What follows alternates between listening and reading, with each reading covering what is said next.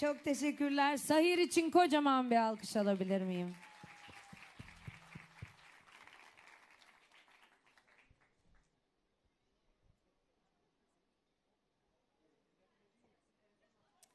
Ah.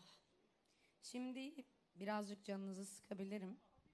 Şimdi söyleyeceğim şarkıyı arkadaşlar. Bu yıl, önceki yıllarda, bugün, bu saniye belki bütün katledilen kadınlar için söylüyorum.